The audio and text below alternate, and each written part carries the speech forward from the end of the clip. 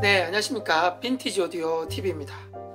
네, 오늘 영상의 주제는요, 어, 빈티지 앰프나 리시버, 어, 그리고 프리앰프에 달려있는 EQ에 관해서 어, 언급을 해보도록 하겠습니다. 오늘 제 2편이고요. 어, 끝까지 시청 부탁드리고요. 중간에 구독과 좋아요 함께 부탁드립니다. 네, 시작하겠습니다. 그 이번에는요, 어, 두 번째 시간이고요. 어, 주요 악기별 음역에 대해서 한번 알아보도록 하겠습니다. 자, 드럼입니다. 어, 드럼 세트는 저음부터 고음까지 두루두루 어, 분포가 되어 있습니다. 그래서 음, 저음 부분은 이제 드럼의 그 킥 드럼 있죠? 제일 앞에 있는 큰 그 드럼이 이제 저음을 담당하게 되고요. 어, 중음은 스네어 드럼, 그 다음에 탐탐 드럼 이런 것들이 이제 중음대를 형성하게 되고요.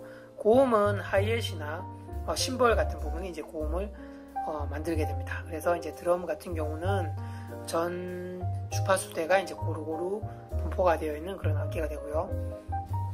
그 다음에 저음 쪽에 치우쳐져 있는 그런 악기들이 있는데요. 어, 베이스 기타라든가 어, 오케스트라라든가 아니면 재즈에서 어, 더블 베이스 같은 경우가 또 많이 등장하고요. 그리고 조금 전에 설명드린 그 울림통 같은 경우도 이제 저음의 영역이고요. 그리고 이제 첼로라는 악기도 그 통 자체가 어, 나름대로 굉장히 크죠. 그래서 저음을 담당하는 그런 악기가 되겠습니다. 그리고 중음대 역을 담당하는 악기들은 가장 대표적인 게 이제 보컬이죠.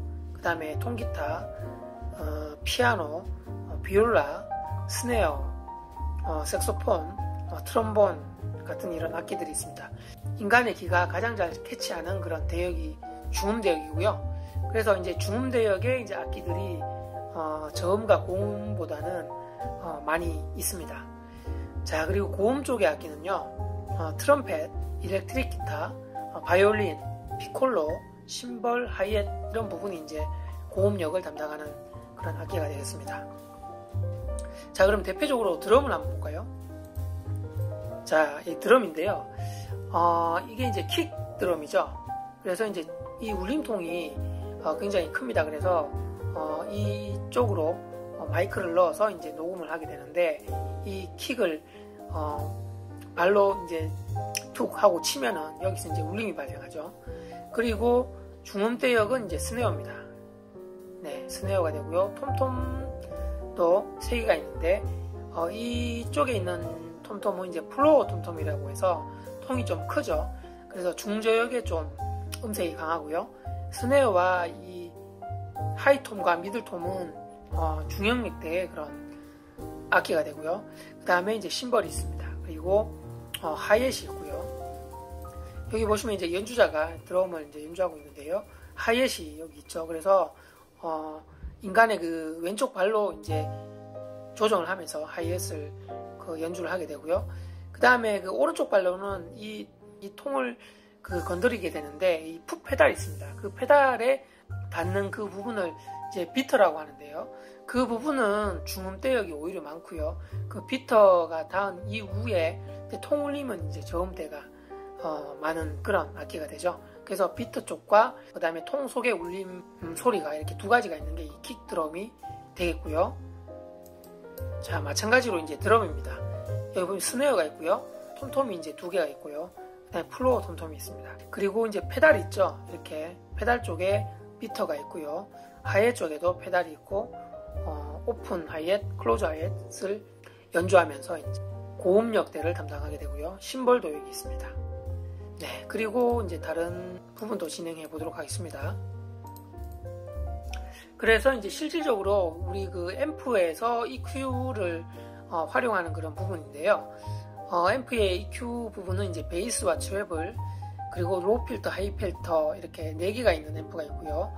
어, 그리고 베이스, mid, treble, 어, low 필터, high 필터 이렇게 5개로 이제 구성되어진 그런 앰프도 있습니다. 그래서 어, 첫 번째 4개로 구성되어진 앰프는 통상적으로 50년대, 60년대의 진공관 앰프와 어, TR 앰프들이 많이들 있고요. 이 진공관 앰프에는 이 low 필터를 어, rumble 필터라고 표현도 하고요. 그 다음에 high 필터를 스크래치 필터라고도 표현합니다. 다 어, 동일한 그런 기능이고요. 어, 그리고 70년대 와서는 1725에서 어, 다섯 개의 그런 EQ들이 있는데요. 어, midrange가 이제 추가가 됩니다. 그래서 마란츠 275라든가 켄우드 6200 같은 리시버 같은 경우에 이제 이렇게 다섯 개가 이제 포진되어 있습니다. 자, 그럼 그래프를 한번 보겠습니다. 자, 이 부분이 이제 어, 저음력 대 어, 중음력, 고음력을 이제 그 조정을 했을 때 보여주는 그런 그래프인데요. 여기 보시면은 이제 중음력대가 1kHz 중심으로 해서 이제 부스트가 되어 있죠. 어, 이게 이제 0dB입니다. 0dB가 이제 제로가 되고요. 중음력을 부스트했고 또 중음력을 커트했습니다. 그래서 중음역대는 약 1kHz를 전후로 어, 형성이 되어 있고요. 그 다음에 treble입니다. treble은 10kHz로 되어 있습니다. 그래서 treble을 boost하고 어, treble을 커트했습니다. 그래서 10kHz 전후로 이제 boost와 커트가 되고요. 그리고 저음역은 이제 100Hz 부분이 되는데요.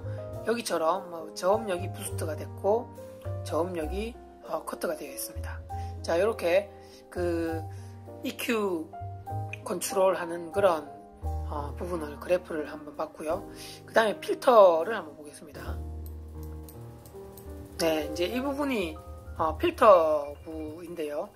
여기 보시면은 0.1kHz 되어 있죠. 즉, 한 100Hz입니다. 그래서 100Hz들 중심으로 어, 이하 쪽을 계속 이렇게 로 필터는 그 어, 커트를 해줍니다. 어, boost 하는 기능이 없죠. 그래서 그쪽을 아예 커트를 해주고요. 그 다음에 high 필터는 어, 이렇게 10kHz 부분에서 어, 전후로 계속적으로 이제 커트가 되는 그런 모습을 보이고 있습니다. 그래서 어, high 필터는 이제 커트를 하게 되는데 high 필터도 이제 그 커트하는 양이 있죠. 그래서 이제 3dB를 커트할 것인가, 5dB를 커트할 것인가, 어, 10dB를 커트할 것인가 이렇게 어, 용량이 있는 경우도 있고요. 아니면 그대로 그냥 on/off 형식으로 되어 있어서 high 필터 on, off 또는 low 필터 on, off 이렇게 어, on/off 하는 기능도 있습니다. 그래서 그 우리가 통상적으로 이 베이스, mid, treble은 on/off가 아니라 어, boost와 커트라는 이런 조정을 하게 되는 거죠. 그래서 깊게 할 수도 있고 좀 작게 할 수도 있는데 이 필터 부는 온오프 하는 기능도 있고요. 그 다음에 음, 조정을 할 수 있는 그런 기능이 있는 게 바로 필터가 되겠습니다. 자, 이래서 오늘 여기까지 하고요. 어, EQ에 대해서 어, 1편과 2편 모두 진행을 했습니다. 그래서 오늘 여기까지 마치고요. 또 다음에 어, 또 다른 영상들 준비해서 제가 올려보도록 하겠습니다. 자, 아래에 어, 제 사진 구독과 좋아요 부탁드리고요. 또 다른 영상들도 많은 시청 바랍니다. 네, 감사합니다.